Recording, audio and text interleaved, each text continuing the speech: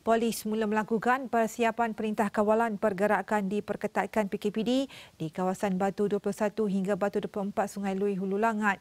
Ya selepas 71 kes positif COVID-19 melibatkan kawasan berkenaan. Dan kita terus saja bersama dengan rakan setugas Hilmi Malik di lokasi.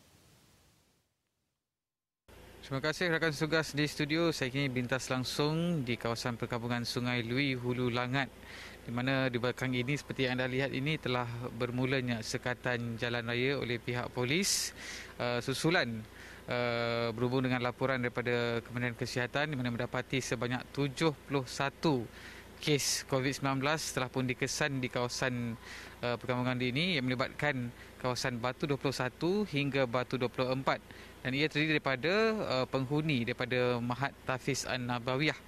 Dan uh, melihat kepada keadaan situasi itu di mana uh, kerajaan telah pun uh, memutuskan untuk uh, melaksanakan perintah kawalan pergerakan diperketatkan PKPD melibatkan kawasan ini dan ia akan melibatkan uh, lebih kurang hampir 4000 penduduk merangkumi 700 rumah di kawasan ini dan uh, penguatkuasaan itu akan bermula sepanjang tempoh 14 hari bermula 30 Mac.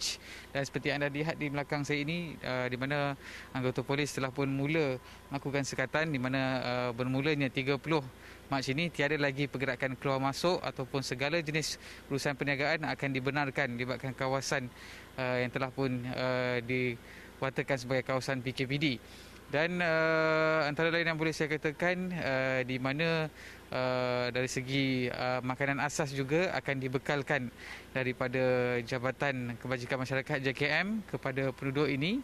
Dan uh, buat masa ini juga sebarang pergerakan keluar masuk seperti yang saya katakan tadi uh, daripada segi penduduk maupun pelawat yang ingin uh, memasuki kawasan ini juga tidak akan dibenarkan sama sekali.